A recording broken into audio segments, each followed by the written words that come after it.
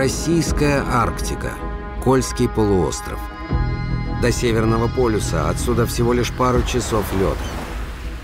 Здесь, на самом краю Земли, где кончается горизонт, раскинуло свои воды Белое море.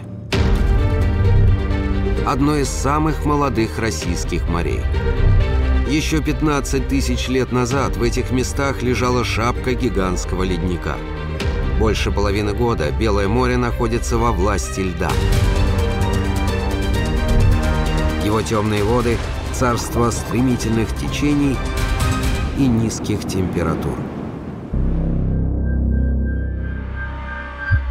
Кажется, что существовать в таких враждебных условиях не может ни один живой организм.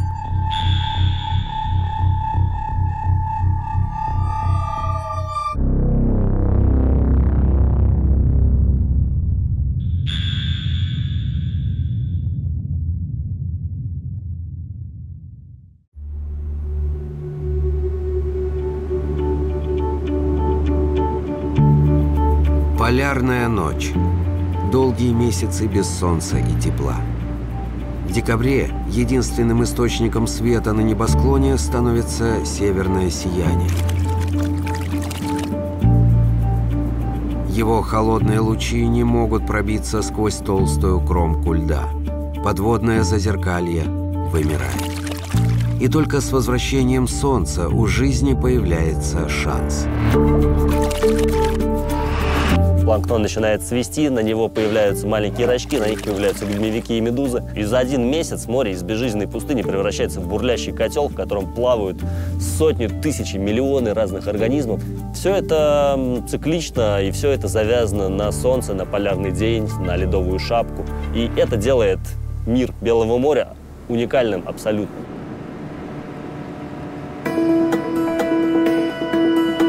Морской биолог Александр Семенов наблюдает за уникальной экосистемой уже почти 15 лет.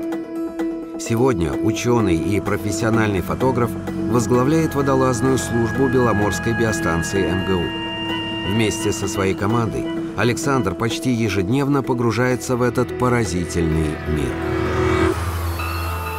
Я влюбился в Белое море с первого раза. Для меня подводный мир – это как космос со своими пришельцами, которые у нас вот под ногами. Нам не надо никуда летать. Нужно надеть акваланг, скинуться в воду, и все, и ты в другом мире. И вокруг тебя настоящие инопланетяне. Удивительно, но начало освоения космоса и начало изучения океанских глубин практически совпали по времени. 55 лет назад Юрий Гагарин совершил свой исторический полет, а за пять лет до этого начал свою подводную одиссею изобретатель акваланга Жак-Ив Кусто, который открыл для нас путь в иной космос – космос Мирового океана. А в детстве по телевизору смотрел подводную одиссею команды Кусто. И там показывали на тот момент совершенно фантастические кадры подводного мира. Ничего подобного вообще не было. Это, конечно, поражало воображение и юные умы, будоражило. Кусто говорил, что ученый – это человек, который смотрит на окружающий мир в замочную скважину и видит лишь маленькую его часть. После чего он садился в свою желтую подводную лодку, закрывал крышку и говорил, нам надо пойти и посмотреть. И это то, что мы делаем, в принципе, сейчас. Мы идем в неизведанный для нас мир и ищем новые вещи. Вместе со своей командой, подобно новому Кусто, Александр Семенов при поддержке Русского географического общества исследует обитателей Белого моря, ищет неизвестные науки виды. В акватории Белого моря наступила весна. Одними из первых на глубине появляются полупрозрачные космические объекты. Их бортовые огни переливаются всеми цветами радуги.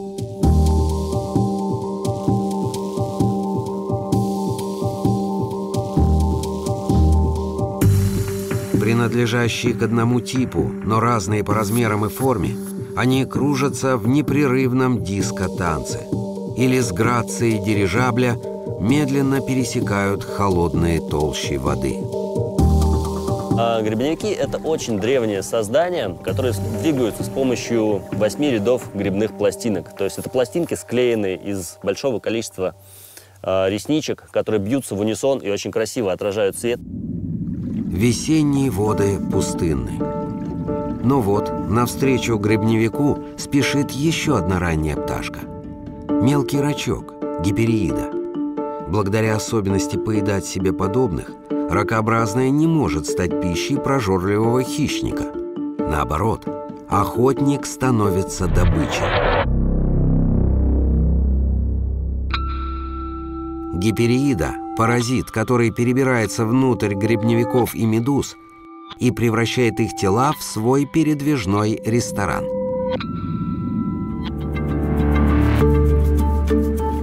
Именно ради таких удивительных кадров команда Александра Семенова выходит в море. Многие их фотомодели живут в полной темноте, на глубине в 40 и 50 метров.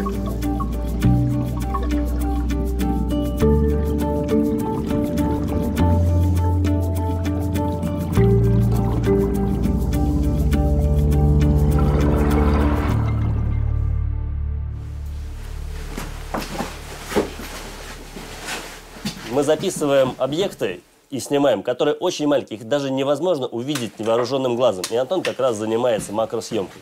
Для того, чтобы снимать таких животных, мало знать, где они живут. Нужно очень мощное освещение, потому что без света под водой делать совершенно нечего. Уже на глубине 20 метров у вас абсолютный мрак. Даже бывали такие случаи, что когда снимая один объект, вдруг потом на просмотре на большом экране обнаруживали на нем еще кучу других объектов мелких, которых, о существовании которых даже и не подозревали.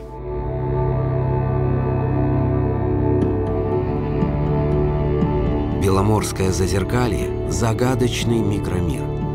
Вселенная в миниатюре, в которой действуют свои неземные законы.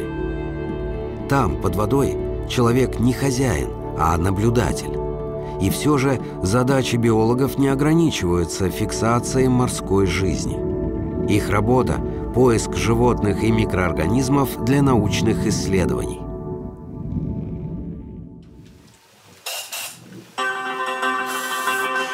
В этом сезоне водолазная служба получила сложнейшее задание. За короткое северное лето им нужно найти и изучить чрезвычайно редкого обитателя Белого моря – глубоководного моллюска – флабелину полярис. Флабелина полярис – это совершенно фантастический моллюск, голожаберный. Это моллюск крайне редкий, то есть в Белом море никто никогда не изучал его жизнь и Поэтому мы просто ничего не знаем о нем. Сегодня ученым известно порядка трех тысяч видов голожаберных моллюсков. Флабелина полярис обитает только в северных широтах. Впервые о ее существовании в Белом море узнали совершенно случайно. В 2004 году Полярис неожиданно попал в объектив подводного фотографа. Вообще в Белом море Полярис обнаружили совершенно случайно. На подводной фотографии, которую сделали еще в 2004 году, когда цифровая техника подводная только стала появляться. И потом, когда ученые собирали атлас флоры и фауны Белого моря, самый первый, а, специалист, который писал раздел по голожаберникам и смотрел все фотографии, которые на этот момент имелись, он увидел и сказал, ого, этого вида не должно быть в Белом море. И с тех пор никто не знает, где этого моллюска найти. То есть его один раз увидели, и все. С тех пор обнаружить его не удавалось никому из морских биологов. Поймать его целенаправленно – все равно, что найти иголку в стоге сена. Задача безумно интересная, и она для уже достаточно опытных людей, которые могут и на больших глубинах работать, и выносить холодные температуры. Когда я первый раз увидел флабелину полярис, это было на фотографии. Я сначала даже не понял, что это. Это какой-то чужой. Это что-то вот-вот неземное такое, действительно. И в то же время он безумно красив. Флабелина Полярис – неуловимая звезда подводного царства. Отыскать эту звезду будет непросто. Главный враг водолазов – время. Короткое полярное лето. Воды Белого моря не созданы для долгих погружений. Нашей работе основная сложность – это то, что мы должны нырять на стоячую воду. Это время между приливом и отливом. У вас в сутки есть два прилива и два отлива, и между ними по 6 часов вода течет. И всего 40 минут вода стоит, и ровно в этот момент, ровно по расписанию мы должны нырнуть. Биостанция МГУ расположена на границе полярного круга. Это ворота в Арктику. Приливы и отливы на Белом море очень ощутимы. Уровень воды меняется в пределах 2-3 метров. Рассвет жизни здесь связан с приходом полярного дня. Круглосуточное солнце приносит долгожданное тепло. Его предвестником на глубине становится нашествие удивительных созданий.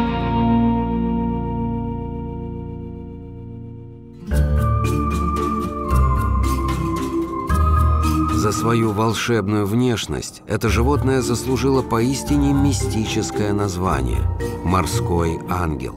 Один из самых красивых пловцов беспозвоночного мира.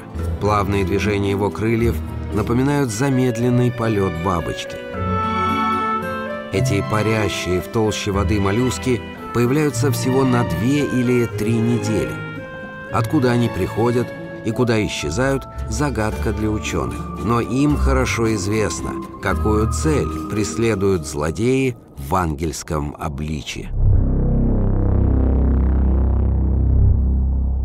У морских ангелов единственная еда – это морские черти. Те же крылоногие моллюски, но которые в процессе эволюции раковину не потеряли, поэтому выглядят как маленькая улиточка, у раковины из которой вместо ноги полостной торчат два черных крыла. Они совсем крохотные, это в 2-3 миллиметра, их практически не видно, хотя иногда их бывает настолько много, что от них чернеет море. Арктическое зазеркалье – место, где ангелы всегда побеждают чертей.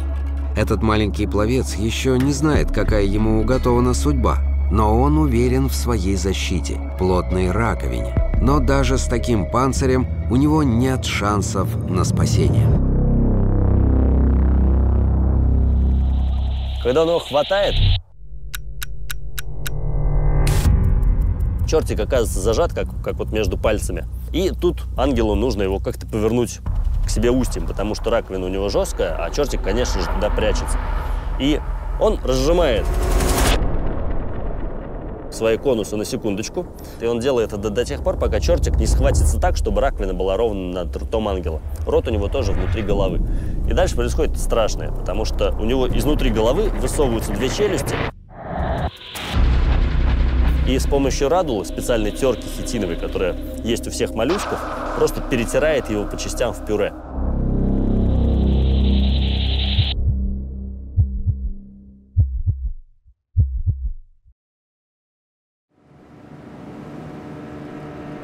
Но все же есть существо, которое более странное и фантастическое, чем все эти обитатели Зазеркалья. В этом сезоне флабелина полярис – цель номер один для команды водолазов Беломорской станции МГУ. Хочешь поймать редкий организм – найди его любимое лакомство. Ловля на живца начинается.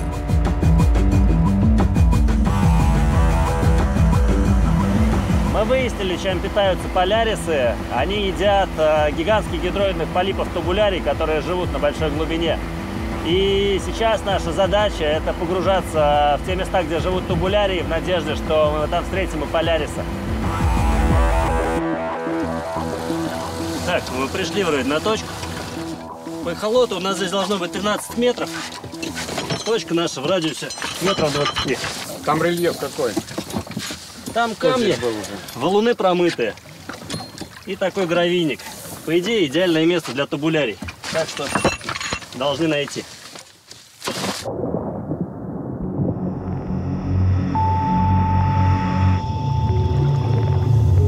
Сильнейшие течения приносят пищу и кислород. Поэтому каждая подводная скала, каждый выступ, за который можно уцепиться – становится полем битвы между тысячами морских существ. Недавно, во время сеанса макросъемки, биологи сделали удивительное открытие. Оказывается, в Белом море живут микроскопические существа, которые изобрели оригинальный способ борьбы с перенаселением на пространствах подводных скал. Замечательный пример с а, такими рачками-дулихиями, которые строят под водой мачты. Они строят их с помощью выделений своих желез на лапках. вот маленький рачок размером миллиметр строит мачту длиной 15-20 сантиметров. На этой мачте сидит, питается, и, что самое главное, количество этих мачт на квадратный метр могут быть тысячи. На этих мачтах проходит их социальная жизнь страшно интересная. Они выводят детенышей, меняются семьями, что там только не происходит. Главенствующее положение не гарантирует Дулихи спокойствия. В море слишком много желающих воспользоваться плодами чужого труда. Это настоящая схватка Давида и Голиафа. Дулихия бесстрашно противостоит агрессору. Для морских козочек придонная давка и толчья – естественные состояния. Козочки – единственные ракообразные, способные стоять, уцепившись задними лапками. Добычу они ловят с помощью длинных антенн а потом счищают застрявший в них планктон своими клешнями. У многих козочек отсутствуют конечности. Это следы былых сражений. Настоящей войны за место под холодным арктическим солнцем. А вот и тубулярии. Те самые хищные цветы, которыми питается флабелина полярис. Представьте себе цветок, растущий на клумбе. Это реально цветок. Но на самом деле это животное. И каждый его лепесточек – это щупальце, которыми он захватывает мелкий планктон и отправляет себе в рот, в серединку этого цветка. Ученые внимательно рассматривают поселение тубулярий в надежде обнаружить флабелину полярис.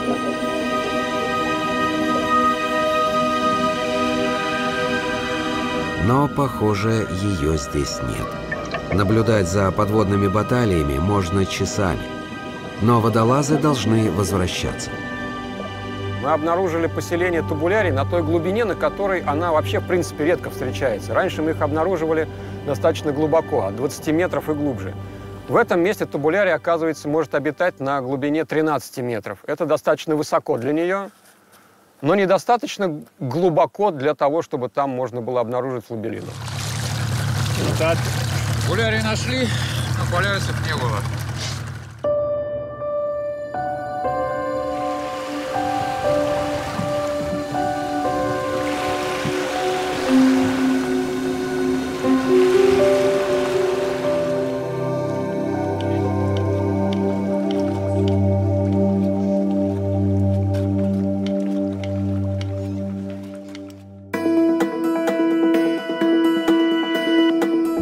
Беломорская биостанция МГУ была открыта в 1938 году на берегу Кандалакшского залива. Сегодня это по-прежнему труднодоступный уголок дикой северной природы.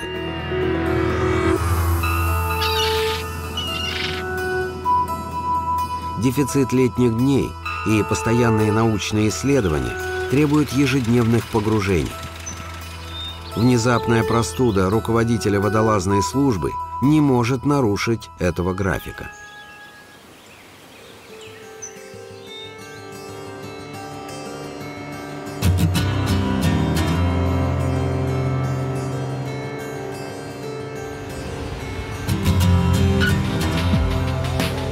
В лодке самые молодые члены команды – Майя и Федор. Для начинающих водолазов каждое погружение – повод проявить себя – показать свои профессиональные возможности. Шанс обойти опытных коллег и первыми разыскать неуловимого моллюска.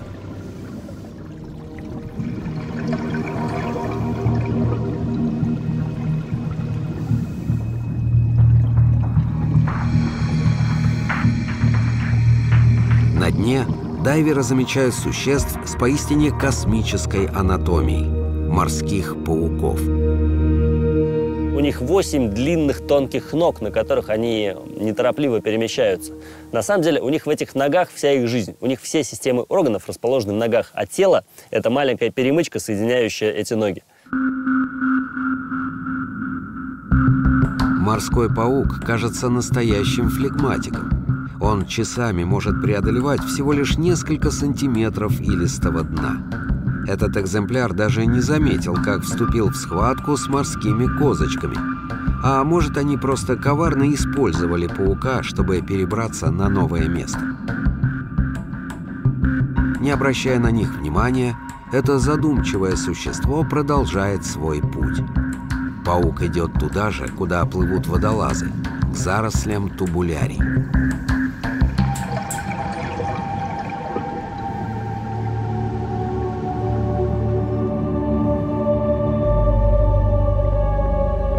Эти ядовитые цветы зла усыпаны гроздьями забавных рачков – метоп. Они отнимают у тубулярии еду и чистят ее щупальца взамен.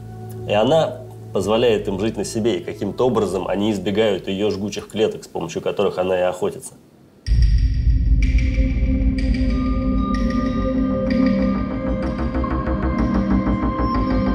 Но вот ползет какое-то инопланетное существо. Ничего подобного прежде водолазы не видели.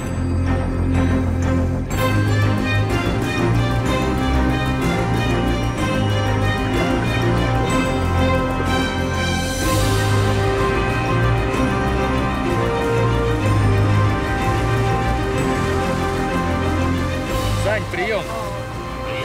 Короче, приколись, мы наконец-то нашли этого поляриса. Он, правда, маленький.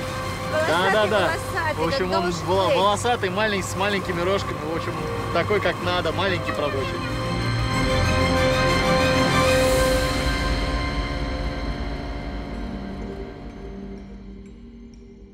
Ну-ка, Сейчас. Вот, вот, вот. Полярис. ну-ка дай-ка сюда. На.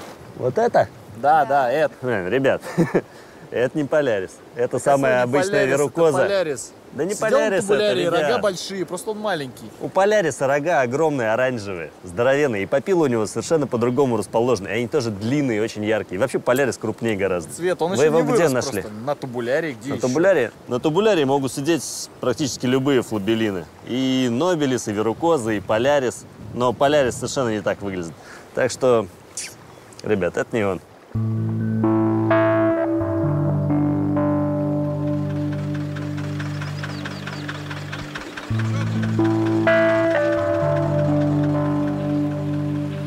Белое море не магазин, куда пришел и выбрал. Здесь ты погружаешься, и либо объект есть, либо его нет. У них своя жизнь, непонятная нам. Даже водолазы, которые погружаются много-много-много лет под воду, они это прекрасно понимают, что мы там гости, мы там чужие. Вот. И утверждать что-то точно, вот пришел, да, вот, вот, вот здесь он есть, мы так не можем. Вот то же самое с этой флобелиной. Вот должна она быть здесь, а ее нет. Уравновешенный Антон не скрывает раздражения. Полярное лето перевалило экватор. Близится осень. В график водолазов все чаще вмешивается еще один природный фактор – капризная погода северных широт.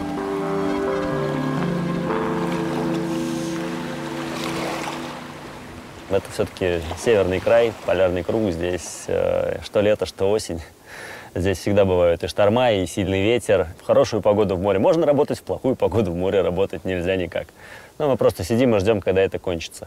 Бывают редкие случаи, когда очень нужно каким-то ученым, которые приехали совсем на короткий срок, э, добыть материалы, и они просят нас, ну, пожалуйста, сгоняйте. Но мы, конечно, стараемся этого не делать, потому что это уже рискованно.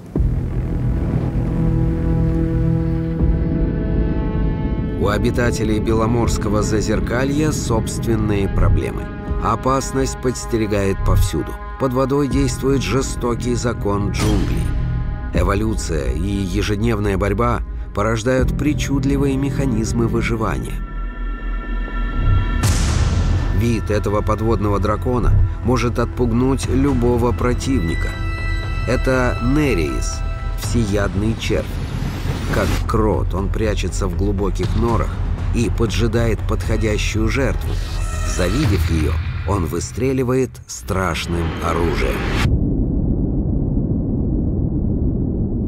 у него огромная глотка, ввернутая внутрь и способная выстреливать со скоростью в доли секунды на треть тела червя. А червяк может быть до 40 сантиметров длиной, то есть там еще 12 сантиметров глотки. И вот эти 12 сантиметров выстреливают резко. В жертву на конце у них два крюка, такие хитиновые челюсти, которыми он хватает и утаскивает себе в нору какую-нибудь рыбку или другого червя. В период размножения с Нерисом происходит удивительная метаморфоза. Он взмывает на поверхность воды и совершает процесс оплодотворения, разбрасывая свое семя в толще воды. Выполнив свою главную функцию, Нерис буквально теряет желание жить и совершает свой последний танец.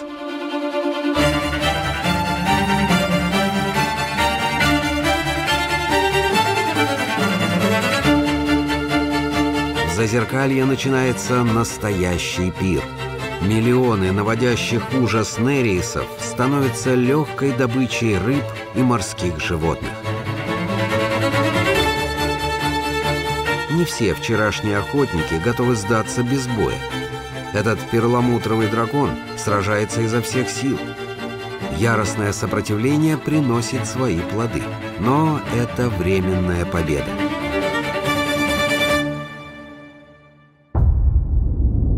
Именно из таких маленьких трагедий и состоят будни арктического зазеркалья.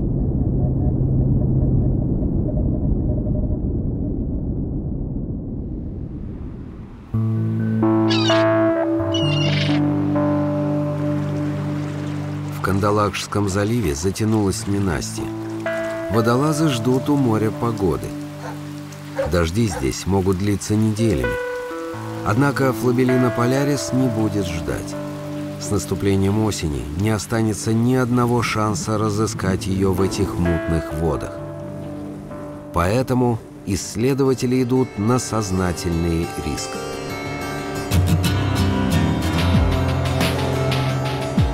Приходилось и людей из-под воды спасать, и самому попадать в ситуации довольно щекотливые. У меня у самого был один раз эпизод, когда я вынырнул, и меня лодка должна забрать, а лодку на волнах подкидывает так, что я оказываюсь под ней, и меня просто по голове практически ударило. Я мгновенно ушел под воду просто камнем, потому что иначе мне могло бы сломать шею.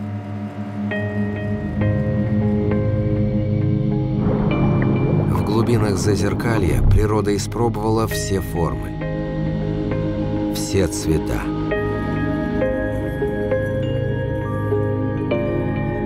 И часто придает своим созданиям неземной облик.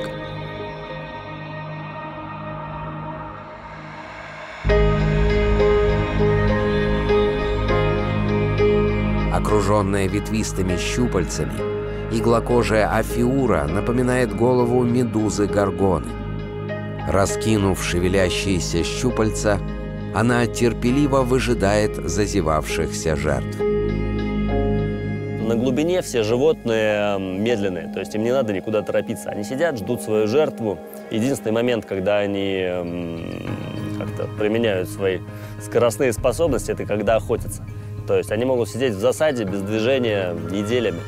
После чего, когда они кого-то поймают, оп, и все, схватил, а дальше можно снова медленно его уже переправлять себе карту.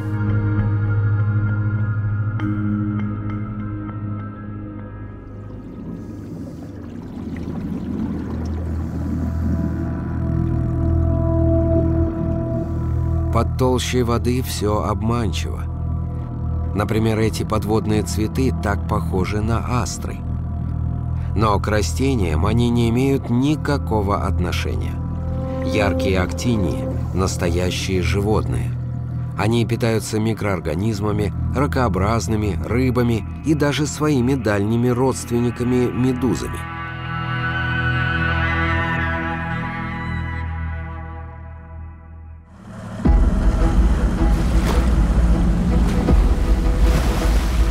Сорок минут под водой пролетают незаметно. Наверху все иначе. Для человека в лодке ожидание иногда тянется бесконечно. Особенно, когда время погружения истекло, а водолазов все еще нет. Больше всех волнуется страхующий, потому что он не знает, что происходит с водолазами под водой. То ли они утонули, то ли они не всплыли, может, у них кончился воздух, может быть, что-то там произошло.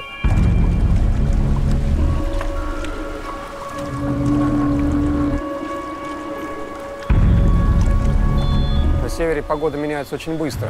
То есть погружались еще было более-менее, когда всплываешь, там уже штормовая волна идет. Начинается течение, и водолаза может унести в открытое море. Водолазы уже давно должны сидеть в лодке. Однако их до сих пор не видно на поверхности воды. Самое сложное в такие минуты – сохранять спокойствие. Большую волну ты находишься ниже волны, а лодка находится на уровне моря. Она может быть даже в 50 метрах, а ее, может быть, не видно. А самое главное, что водолаза с лодки не видно.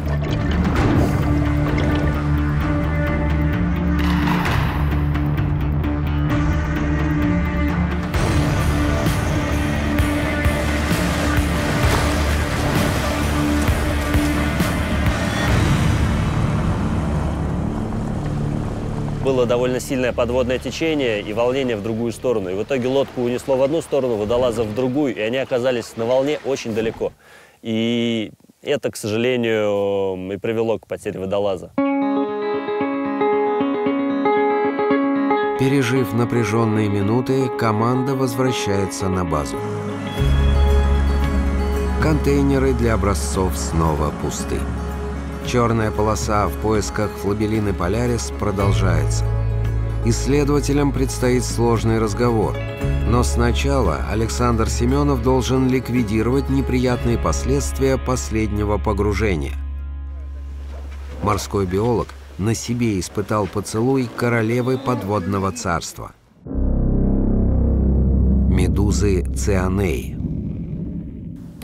Если попадаешь лицом в медузу, ну, приятного, конечно, мало. Даже чисто просто вот визуально, на взгляд. А уж по ощущениям я и не говорю. Сейчас что-то какая-то совсем термоядерная.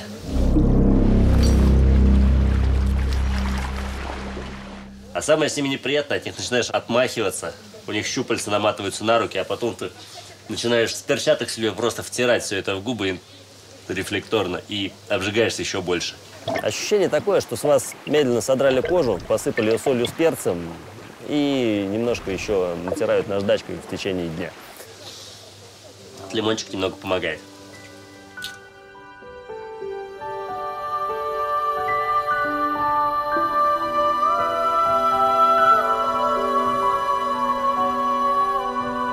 Цианея – самая большая медуза в мире. В Тихом океане встречаются особи, чей купол превышает 2,5 метра. Щупальца гигантских медуз могут полностью закрыть собою 12-этажный дом.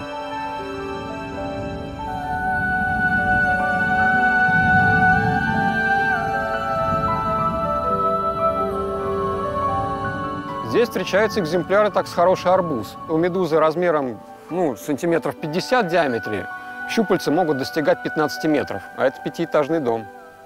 Вот представьте себе, где-то там, в районе крыши пятиэтажного дома, болтается вот такая медуза, а щупальца свисают до подъезда. Тысячи длинных щупалец, как сеть, окутывают пространство вокруг медуз. Каждая из них усыпана миллиардами опасных клеток. Эти стрекательные капсулы – идеальное оружие защиты и нападения. Наполненные ядовитым токсином, они способны парализовать и даже убить. И зрелая стрекательная капсула – это вот такой пузырек, отверстие, которое закрыто крышечкой, а внутри свернутая полая нить. Когда животному нужно, мы до сих пор не знаем, как это происходит. Капсула способна выстрелить. Это означает, что крышечка отлетает, а нить выворачивается. Скорость выворачивания этой нити огромна. Крошечка, казалось бы, легкая и хрупкая конструкция может пробить покровы ракообразную. Стрекательная клетка медузы – это капсула, которая напоминает пузырек с закрытой крышкой. Внутри капсулы свернутая в спираль полая нить. На поверхности капсулы находятся маленькие отростки. При касании крышка отлетает, нить разворачивается и как гарпун фиксируется в теле противника. По этому тончайшему каналу медузы и впрыскивают в тело жертвы яд. Ученые провели эксперимент. Маленького планктонного рачка поместили рядом с щупальцей медузы. Тело рачка защищает твердый панцирь. Приблизимся еще. Перед вами редкие кадры. Действия стрекательных клеток. С помощью скоростной макросъемки видно, как медуза жалит свою жертву. То, что вы видите, происходит за долю секунды. Скорость выстрела этих капсул очень велика. Сила невероятна. Стрекательные нити буквально прошивают панцирь ракообразного и выпускают в него яд.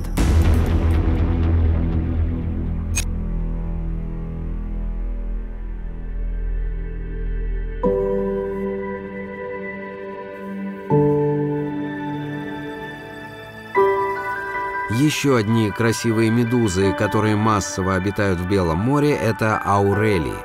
Они отличные пловцы.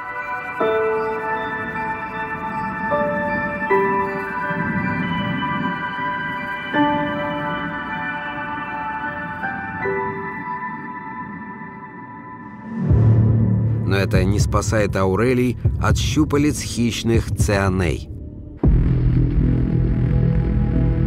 Если присмотреться, то в сетях этой цианеи та самая медуза аурелия. Поразительно. 70% рациона царицы Беломорского зазеркалья состоит из других медуз. Львиная грива цианеи напоминает королевскую мантию. На самом деле это красное полотнище – ротовые полости медузы. Цианея захватывает Аурелию в свои сети – Медуза-охотница обволакивает щупальцами медузу-жертву и поедает на ходу. Часто вы можете увидеть медузу, маленькую, крохотную цианею, которая вот только появилась, она только начала расти. И она сидит на огромной аурелии, для себя-то в 4 раза больше ее размером. И она ее ест. И она ее съест всю. И все питательные вещества из одной медузы буквально перетекают в другую, и она увеличивается день ото дня. И вы можете встретить цаны, которые похожи на плавающие футбольные мячи. Внутри у них может быть 6-8 аурелей.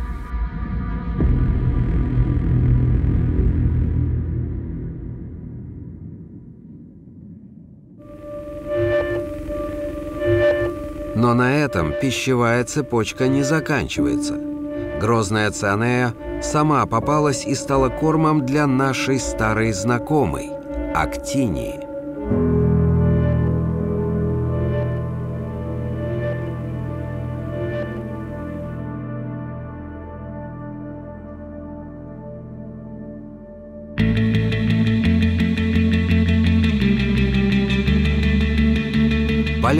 Лето на исходе.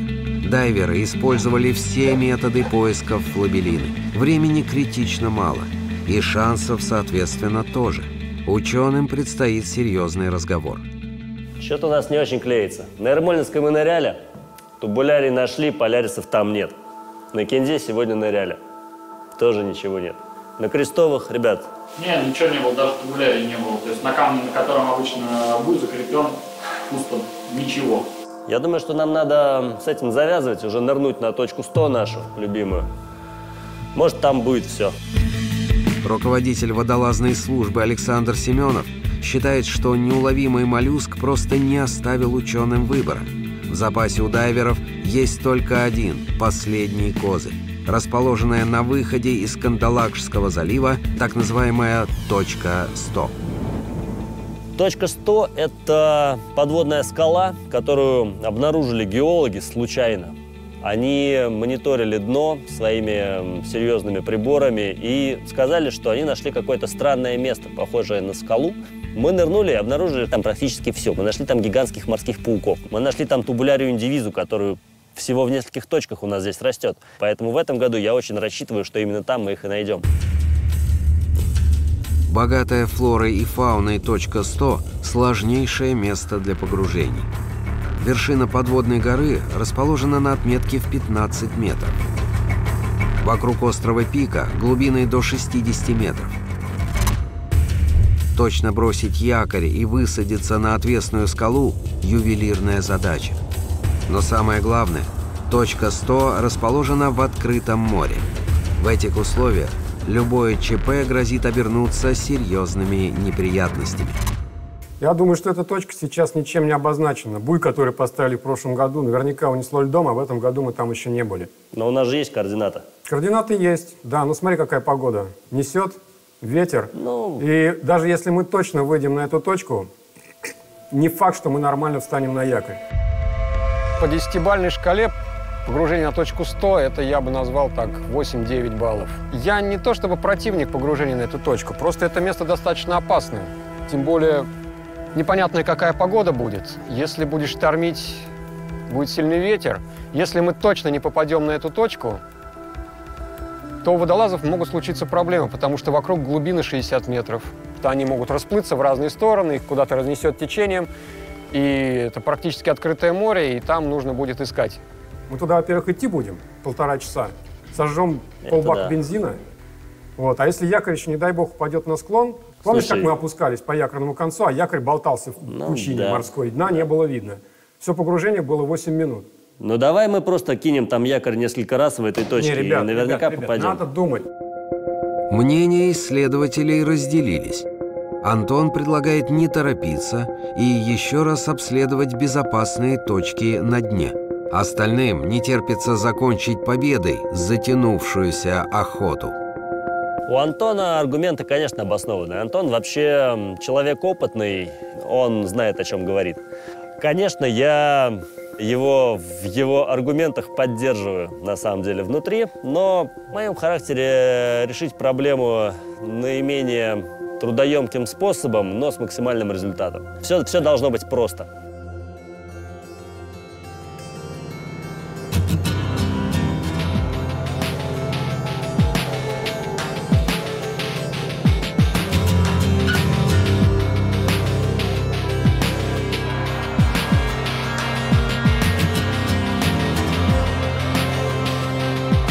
Судно команды берет курс на точку 100. Впереди открытые воды Беломорского зазеркалья и последний в этом сезоне шанс обнаружить неуловимую флабелину «Полярис».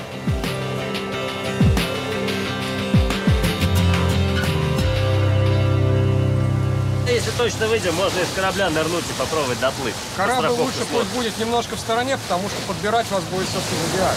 Если Это вы да. в районе корабля вынырнете, а его будет мотать на якоре. то Нужно будет перегружать все оборудование в зодиак. Я предлагаю здесь одеться, Нет, спрыгнуть с корабля. с корабля. Вот. Вот. Это я и хотел услышать. Так, ребят, значит, помните, скала, собственно говоря, стенка на скале находится с юга. Если попадаете на илистый склон, смотрите его экспозицию. Окей. Вот. Если с запада, значит, идете на восток. С востока, значит, наоборот, на запад. Не пройдете мимо. Мы как-то раз промахнулись с Тёмой и там долго лазили по илистым склонам, пока нашли ее обратно. И вы одни. Ну да. Ну все, готово. Что, погнали?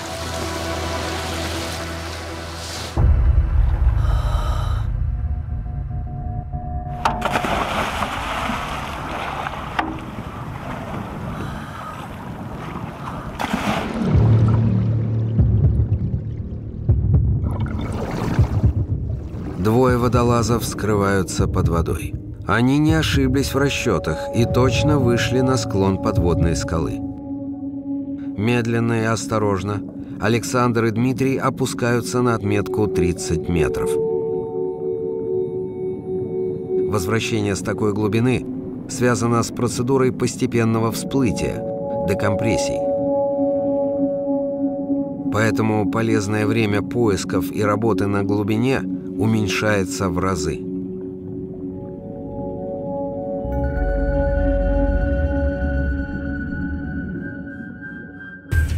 подводные биологи достигли зоны поисков. Склоны скалы резко уходят в глубину. Водолазы обследуют каждый сантиметр.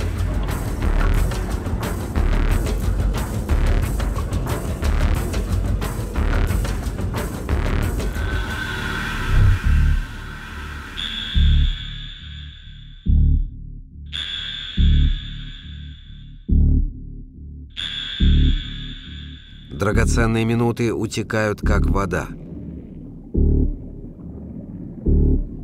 Также о себе дает знать перенасыщение организма азотом.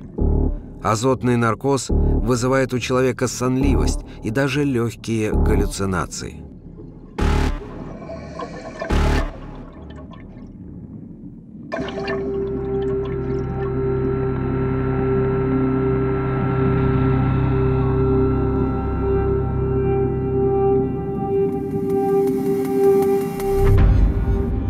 Наконец-то, табулярии.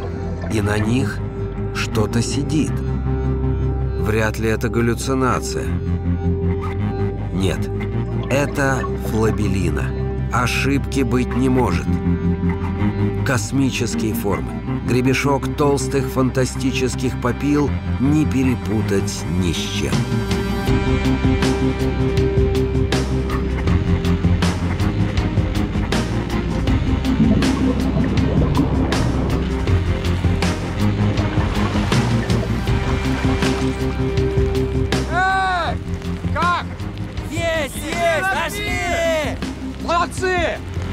Молодцы, ребята!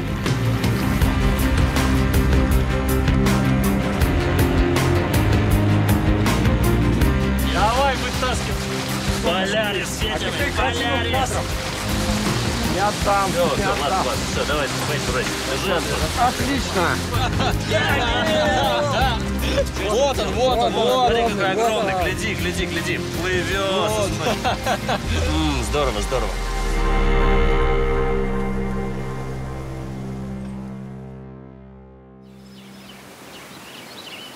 Поиски моллюска флабелины полярис завершены. Теперь ученые могут во всей красе рассмотреть таинственного обитателя беломорских глубин. Его неземная внешность – результат удивительной трансформации. Дальний родственник улиток избавился от раковины и приобрел россыпь длинных иголок попил. Это мягкое оперение – секретное оружие Поляриса.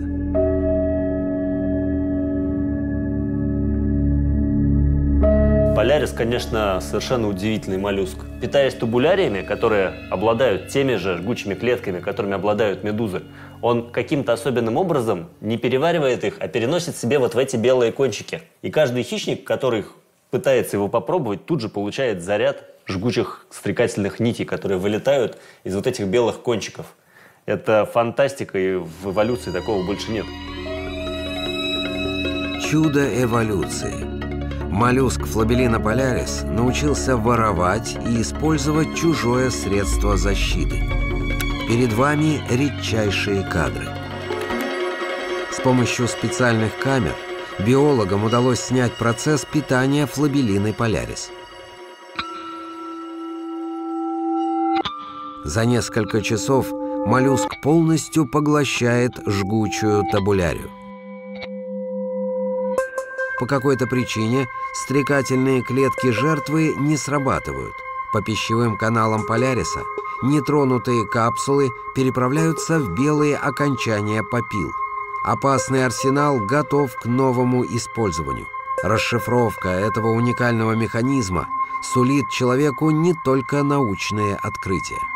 В изучении подводного мира есть одна удивительная особенность. Вы никогда не знаете, что вы получите. Возможно, кто-то через 5 лет или через 10 лет, а, изучив механизм, как он не переваривает эти стрекательные клетки, научится делать какой-нибудь крем для кожи. И люди научатся купаться рядом с медузами смертельно опасными. А от медуз, между прочим, умирает в 100 раз больше, чем от акул ежегодно. 600-700 человек, когда от акул всего 6-7. Надвигается зима. Глубокие воды становятся все холоднее. страсти в этом мире очень странных существ утихают. Бурная короткая жизнь Белого моря прошла свой пик и скоро уйдет обратно, в небытие. Как в космосе, который полон тайн, здесь воцарится холодный покой и тишина.